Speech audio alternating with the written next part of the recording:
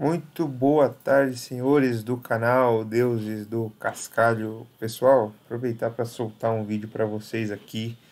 Fiz agora há pouco um vídeo que vai é, ser publicado aí no YouTube, tá? Perto das 4 horas.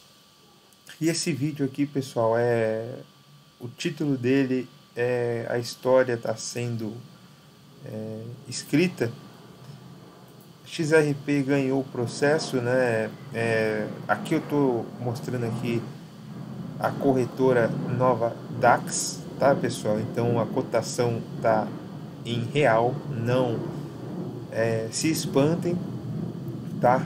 Até porque o topo da XRP é ali no 3.84 dólares, né? Então aqui ela na nova DEX aqui no no auge do movimento aí, quando saiu a notícia do juiz Torres, é... ela chegou a tocar aí 4,99, tá? Então, se a gente fizer essa conversão aí, dá mais ou menos ali aqueles 0,92 dólares, né? Então, pessoal, é normal, né? Esse, essa realizaçãozinha aí, se a pegar do topo, né? E a XRP deu né, essa sentida e ficou bastante longe das médias móveis, né, pessoal? Então é normal aí, né, esperar o preço se aproximar. Eu, né, particularmente, deixei aqui uma, uma ordem aqui, tá? Nos três reais que daria ali o 0,60, que já foi uma região bastante aí é, difícil de ser é, transposta né, pela XRP. Então eu deixei ali uma ordem nos três, mas isso é o que eu estou fazendo, não é recomendação para ninguém fazer nada, tá pessoal? Cada um é responsável pelo seu dinheiro. Então eu estou falando um ponto no gráfico que eu acredito que seja interessante de fazer é, uma operação, né? Então é isso. É, bom, é legal explorar outros tempos gráficos, né, pessoal? Então que a gente vê como o movimento tá bonito, tá saudável aqui, né? A XRP tá vindo para fazer essa realização.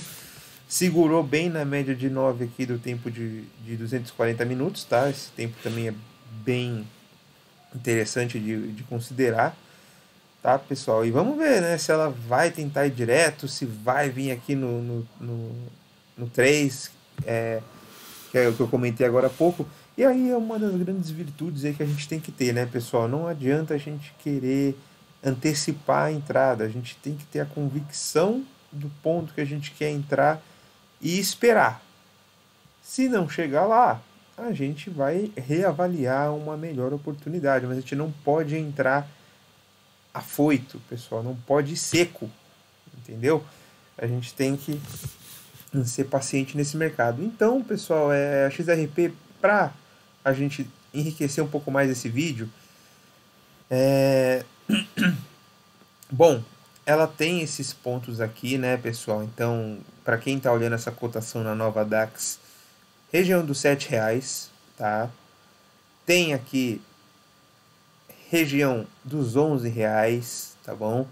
Tem essa LTBzinha passando aqui, vai dar mais ou menos os 9,50 e os 13,40. Lembrando, né, pessoal, que é, se a gente né, for pensar aí é, em tudo que andou uh, Bitcoin, Ethereum, tem aí uma, uma possibilidade, né? Na verdade, a gente tem que tomar cuidado com essas palavras, conforme que a gente se expressa, né?